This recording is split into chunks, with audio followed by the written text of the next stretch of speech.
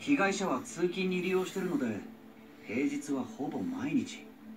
江原も通勤利用なんですが犯行当日は休みで別居中の奥さんのところへ行く途中だったそうです。うーん。じゃあホームで1時間うろついてたことについては何で？その奥さんに会うのが億劫でなかなか電車に乗れなかったと。あの人が何を聞いてもそんな言い訳じみた答えばかりなんです。痴漢もやってないって言うんですが見つかる証拠は全部有罪を示してました。結局裁判で無実を主張できる根拠は一つもなかったんです。痴漢は実際にやってた。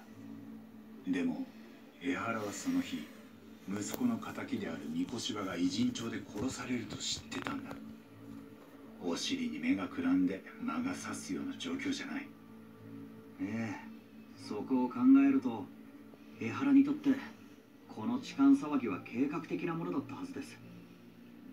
もしかしたら現行犯で取り押さえられるところまで全部。ああ。結果としてその痴漢行為自体が三越柴殺しのアリバイになった。だからどれだけ大っぴらに殺しとの関与をほのめかしても最後には無関係だと言い張れる。なんかだんだん得体が知れなくなってきました。江原はまず間違いなく三越柴殺しの一味と関係してるよ。けどそこを口割らせんのは難しそうだな。あいつは多分この件に捨て身でかかってる。息子さんの復讐を果たすためにですかああ共犯者たちは誰なんでしょう？江原はベテラン警官です。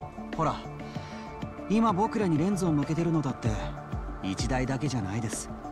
ワンサがあります。確かに